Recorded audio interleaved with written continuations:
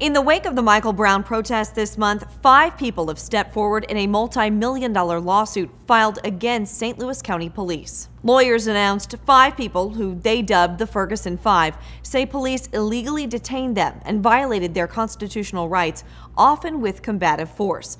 They are seeking $40 million in damages. The plaintiff's story suggests they were caught in the unrest. WDAF explains. One woman said she and her 17 year old son were roughed up and arrested because they wouldn't leave a McDonald's restaurant fast enough.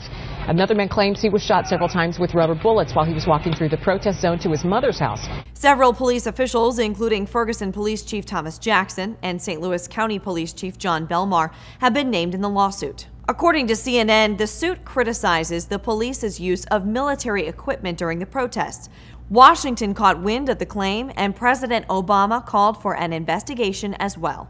And we will hold Thomas Jackson and his police department yes, in Ferguson yes. fully accountable. Yes, That's lead attorney Malik Shabazz speaking to reporters after he filed the $40 million lawsuit in federal court. Details of the lawsuit hit the press Thursday, and overnight, some local media turned their focus to Shabazz and his controversial history. Local pastors recently denounced Shabazz because they believe he appeared to incite violence at the protest.